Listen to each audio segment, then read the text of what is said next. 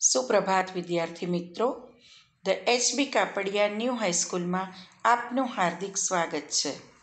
મિત્રો, આજે આપણે સંસ્કૃતમાં કાવ્ય, પાંચ, પ્રભાત વર્ણનમ વિશે શીખીશું. મનુષ્ય પ્રકૃતિ પ્રેમી છે. દરેક સવાર કંઈક નવો સંદેશ લઈને આવે છે.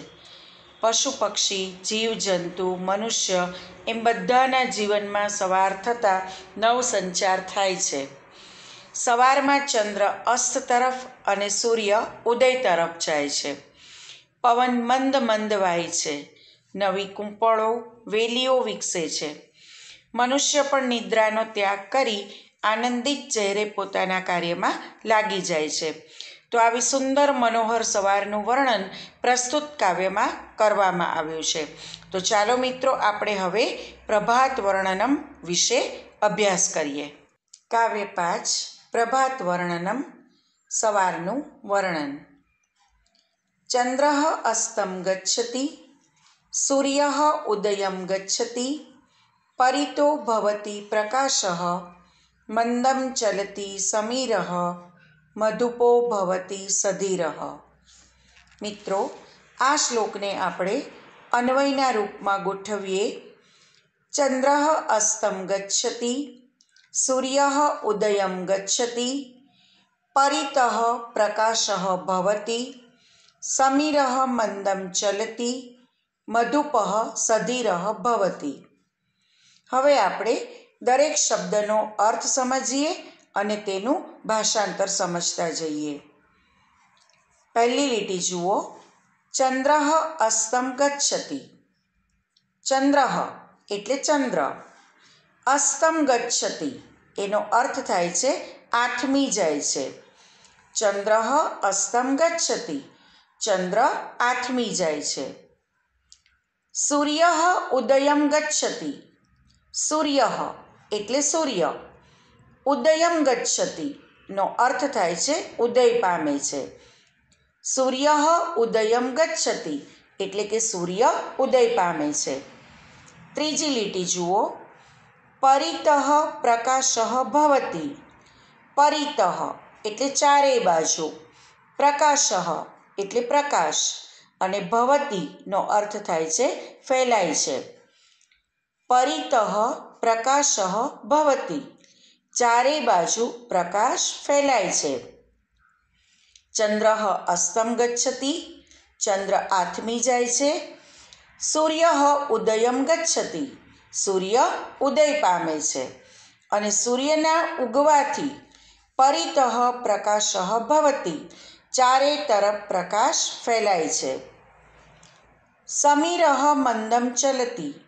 સમીર એટલે પવન. મંદમ એટલે ધીમે ધીમે. ચલતી એટલે વાય છે. પવન ધીમે ધીમે વાય છે. મધુપહ સધીર ભવતી. મધુપહ એટલે ભમરો, સધીરહ એટલે ધીરજવાળો, ધૈર્યવાન અને ભવતી એટલે થાય છે. મધુપહ, સધીરહ, ભવતી, ભમરો ધૈર્યવાન થાય છે, ધીરજવાળો થાય છે. ખ્યાલ આવ્યો? ફરીથી એકવાર જોઈ લઈએ. ચંદ્ર અસ્તમ ગચ્છતી, ચંદ્ર આથમી જાય છે. સૂર્ય ઉદયમ ગચ્છતિ. સૂર્ય ઉદય પામે છે. પરિતઃ પ્રકાશ ભવતી. ચારે તરફ પ્રકાશ ફેલાય છે. સમીર મંદમ ચલતી. પવન ધીમે ધીમે વાય છે. મધુપહ સધીરહ ભવતી. મધુપહ એટલે ભમરો. સધીરહ એટલે ધીરજવાન. અને ભવતી એટલે થાય છે. ભમરો ધીરજવાન થાય છે. તો ચાલો આપણે હવે બીજા શ્લોક તરફ આગળ વધીએ. કલિકા વૃંદમ વિકસતી, લતિકા વૃંદમ વિલસતી. નિદ્રા તંદ્રા ભગ્ના, જનતા કર્મણી લગ્ના. સકલે નવ ઉલ્લાસ, વદને વદને હાસ. શ્લોક નંબર બેને આપણે અન્વયના રૂપમાં ગોઠવીએ. કલિકા વૃંદમ વિકસતી લતિકા વૃંદમ વિલસતી નિદ્રા તંદ્રા ભગ્ના જનતા કર્મણી લગ્ના સકલે નવઃ ઉલ્લાસઃ વદને વદને હાસ હવે આપણે દરેક શબ્દનો અર્થ સમજીએ. કલિકા વૃંદમ એનો અર્થ થાય છે કળીઓનો સમૂહ. વિકસતી, એટલે વિકસે છે, ખીલે છે. કલિકા વૃંદમ વિકસતી, કળીઓનો સમૂહ ખીલે છે. બીજી લીટી જુઓ.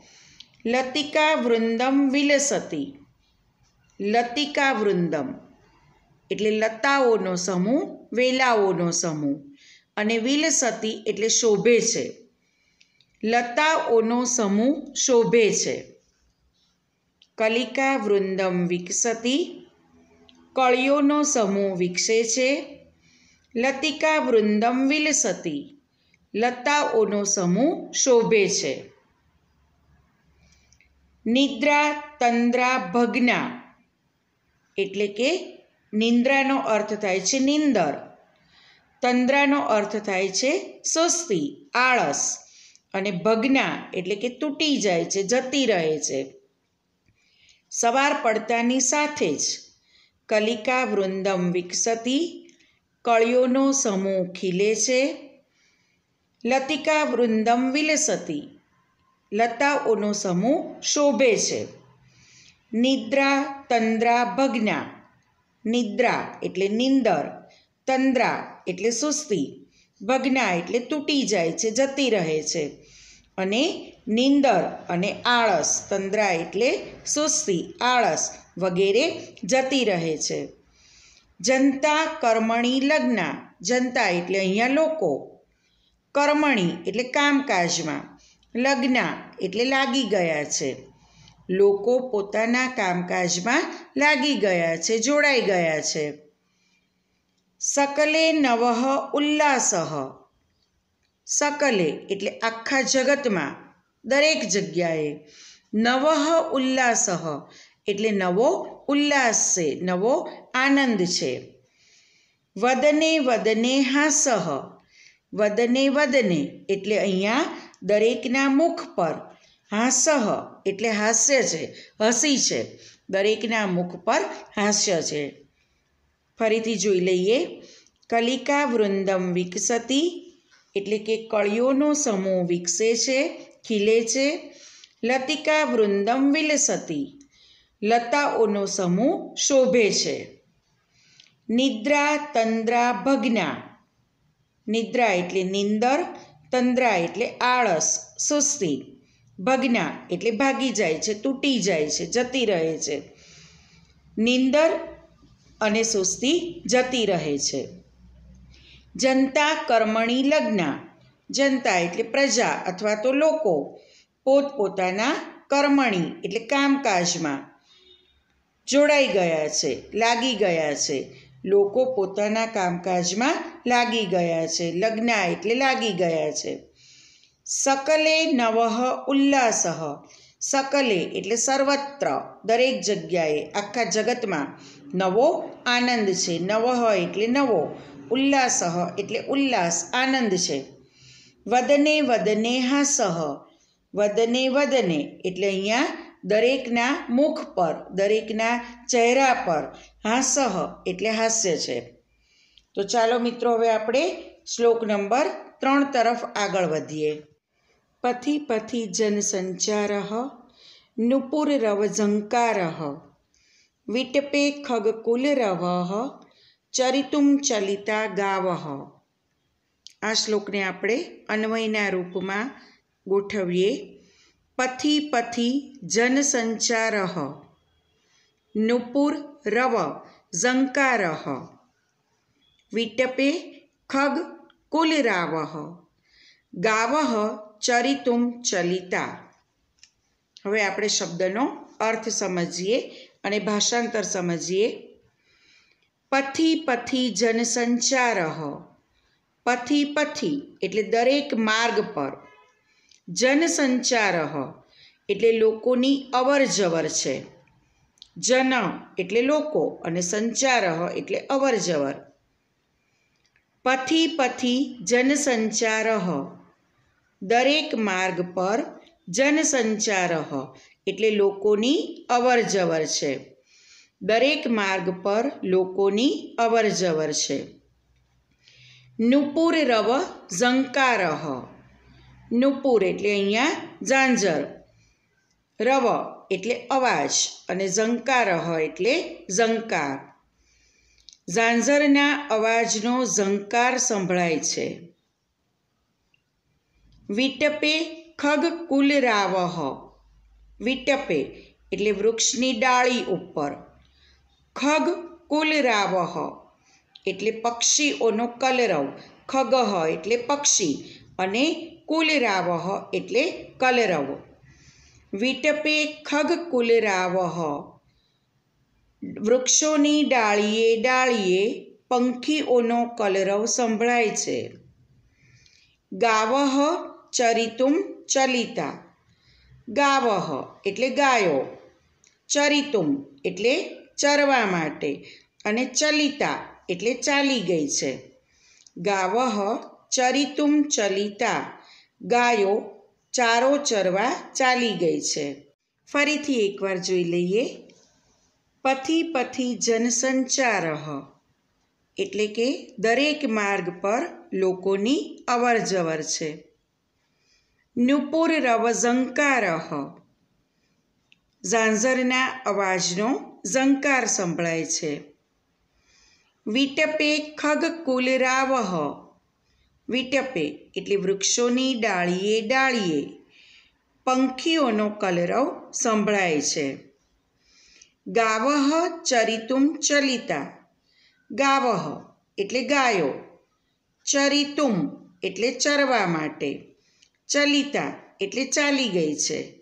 ગાયો ચરવા માટે ચાલી ગઈ છે. હવે આપણે પેજ નંબર પંદર પર આપેલ શ્લોક નંબર ચારનો અભ્યાસ કરીએ. હસ્તે હસ્તે પત્રમ, વદને વદને સ્તોત્રમ. ખેલતી બાલક વૃંદમ, ગીતમ ગાયમ ગાયમ. વિદ્યાર્થી મિત્રો, આપણે આ શ્લોકને અન્વયના રૂપમાં ગોઠવીએ.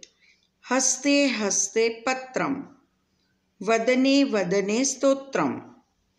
બાલક વૃંદમ ગીતમ ગાયમ ગાયમ ખેલતી. હવે આપણે તેનો અર્થ જોઈએ. હસ્તે હસ્તે પત્રમ. હસ્તે હસ્તે એટલે દરેકના હાથમાં. પત્રમ એટલે પાંદડું. દરેકના હાથમાં પત્ર છે, પાંદડું છે. અહીંયા આપણે દરેકના હાથમાં, એટલે તમે ચિત્રમાં જોઈ શકો છો, દરેકના હાથમાં, એટલે અહીંયા એ ભક્ત માટે ભગવાનના, ભક્ત માટે વપરાયેલો શબ્દ છે, અહીંયા હસ્તે હસ્તે, એટલે દરેક ભક્તના હાથમાં પત્રમ, એટલે પત્ર છે, પાંદડું છે. આપણે જેને કહીએ છીએ કે દરેક ભક્ત હોય છે એ ભગવાનને જે પત્ર, પુષ્પ અને ફળ ચડાવે છે તેને આપણે પત્રમ કહીએ છીએ સંસ્કૃતમાં. તો હસ્તે હસ્તે પત્રમ, એટલે દરેકના હાથમાં પત્ર છે. વદને વદને સ્તોત્રમ, એટલે દરેકના મુખ ઉપર. વદને વદને, એટલે દરેકના મુખ ઉપર સ્તોત્ર છે. બાલક વૃંદમ ગીતમ ગાયમ ગાયમ ખેલતી. બાલક વૃંદમ એટલે બાળકોનો સમૂહ. ગીતમ એટલે ગીત. ગાયમ ગાયમ એટલે ગાય ગાયને ખેલતી એટલે રમે છે. બાલક વૃંદમ ગીતમ ગાયમ ગાયમ ખેલતી. બાળકોનો સમૂહ ગીત ગાઈ ગાઈને રમે છે. ફરીથી એકવાર આપણે જોઈ લઈએ. હસ્તે હસ્તે પત્રમ. એનો અર્થ થાય છે, દરેકના હાથમાં પત્ર છે. વદને વદને સ્તોત્રમ. દરેકના મુખ ઉપર સ્તોત્ર છે. બાલક વૃંદમ. બાળકોનો સમૂહ. ગીતમ એટલે ગીત. ગાયમ ગાયમ એટલે ગાય ગાયને ખેલતી, રમે છે. બાલકવૃંદમ ગીતમ ગાયમ ગાયમ ખેલતી. બાળકોનો સમૂહ ગીત ગાઈ ગાઈને રમે છે. વિદ્યાર્થી મિત્રો, અહીંયા આ કાવ્યના કવિ આપણને નીચે આપેલ છે. તેમનું નામ છે વાસુદેવ દ્વિવેદી શાસ્ત્રી. આ તમારે યાદ રાખવાનું છે. હવે આપણે પેજ નંબર પંદર પર આપેલ શબ્દાર્થ અને સ્વાધ્યાયનો અભ્યાસ કરીએ.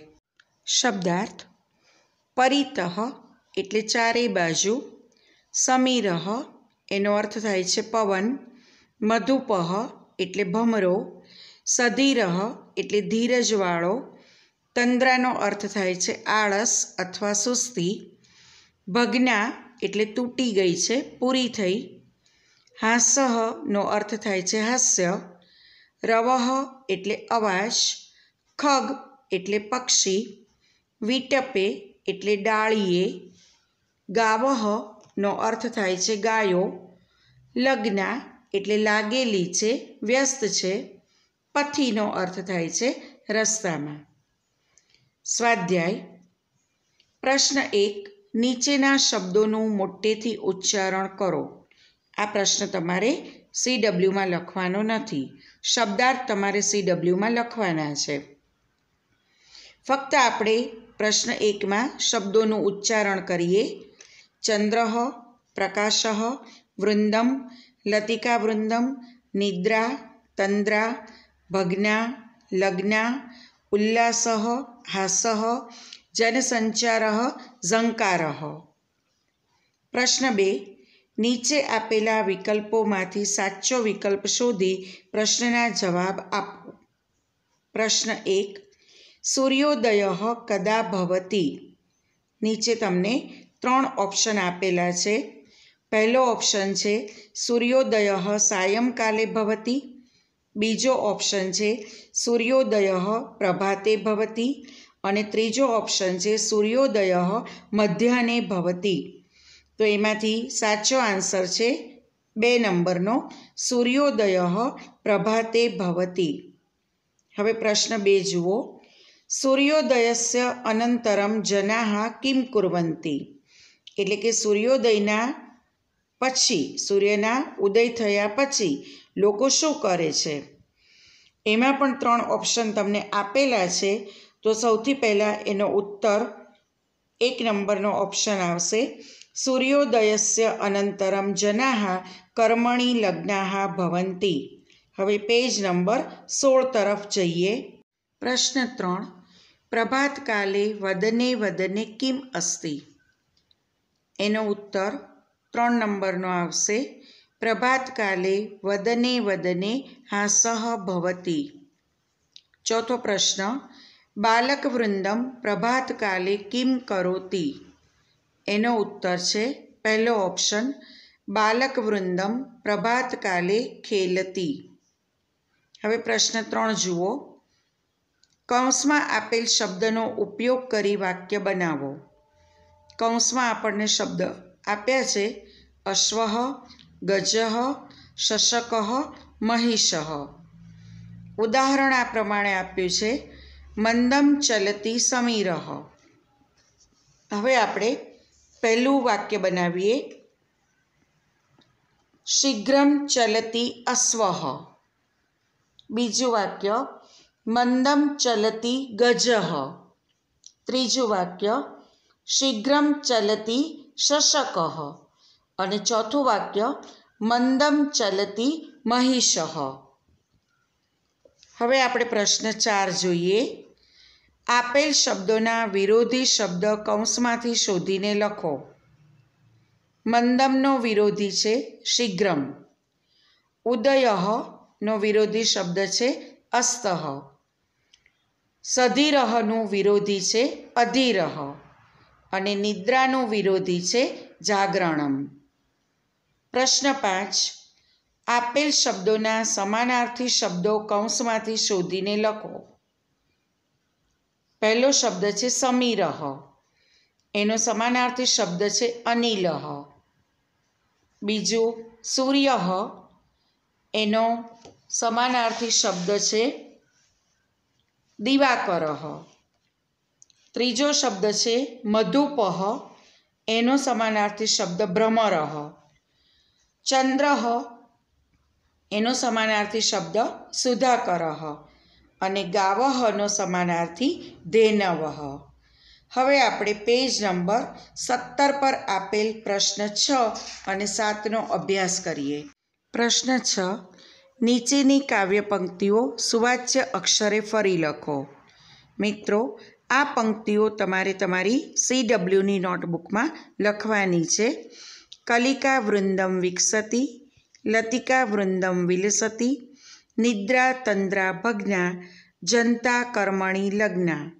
સકલે નવ ઉલ્લાસહ વદને વદને હાસઃ આ તમામ કાવ્ય પંક્તિ તમારે નોટમાં લખવાની છે. પ્રશ્ન સાત. ઉદાહરણમાં દર્શાવ્યા પ્રમાણે વૃંદ શબ્દનો ઉપયોગ આપેલા શબ્દોની મદદથી કરો. એક ઉદાહરણ આપણને આપ્યું છે, સખી એની પાછળ વૃંદ શબ્દ લગાડવાથી શબ્દ બને છે, સખી વૃંદ તો એ રીતે વૃંદ શબ્દનો ઉપયોગ કરી બીજા શબ્દો આપણે બનાવીએ. મિત્ર પરથી મિત્ર વૃંદ, ગાયક પરથી ગાયક વૃંદ, વાદક વાદક વૃંદ ગોપ ગોપ વૃંદ બાલ બાલ વૃંદ તો મિત્રો, અહીંયા આપણું કાવ્ય પાંચ સમાપ્ત થાય છે.